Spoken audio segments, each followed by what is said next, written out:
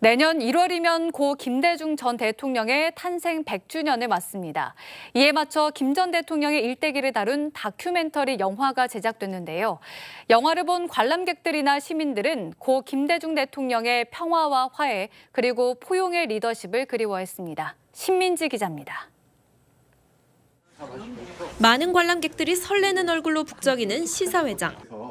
고 김대중 전 대통령을 다룬 다큐 영화 기류의 김대중의 시사회에 고인의 정신을 흠모하는 이들이 모였습니다. 남북 문제에 대해서 가장 큰 관심을 가지시고 자기 대에 이것을 꼭 교류 평화적 교류 협력을 이루어야겠다 그런 일념으로 사셨기 때문에 더욱 어, 참 그립고 보고 싶습니다. 다섯 차례의 죽을 고비와 살해 위협, 투옥과 망명 등 파란만장한 정치 생활을 거치며 한국 현대사의 거목으로 우뚝 선 정치인 김대중. 고인의 탄생 100주년을 앞두고 제작된 영화는 청년 사업가 김대중이 정계에 입문해 1987년 대선 후보로 나서기까지의 여정을 담았습니다.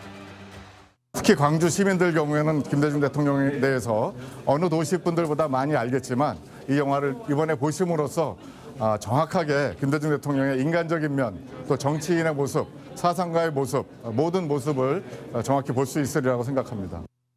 영화의 제목은 늘 길 위에서 대중과 소통하며 살아있는 정치를 위해 동분서주하던 김대중 전 대통령의 모습에 집중합니다.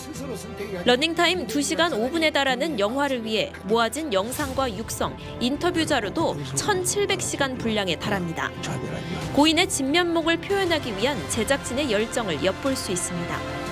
고 이희호 여사가 옥중의 남편을 면회간 모습과 망명 중인 미국에서의 연설 장면 등 희귀한 자료도 처음으로 스크린에 펼쳐집니다. 김대중 대통령의 삶과 사상을 되돌아보고 그 정신을 오늘 우리가 직면하고 있는 여러 가지 현실적인 어려움 어, 그런 데 있어서 어, 중요한 어떤 길잡이로 되새겨 볼 수 있는 그런 계획 아닐까 싶습니다. 제작진은 다양한 상영 공간 확보를 위해 크라우드 펀딩을 전개했다며 뜨거운 관심 속에 당초 목표보다 10배가 넘는 금액을 달성할 수 있었다고 밝혔습니다. 고인의 정신을 담은 다큐 길 위에 김대중은 다음 달 10일 전국적으로 개봉합니다. KBC 신민지입니다.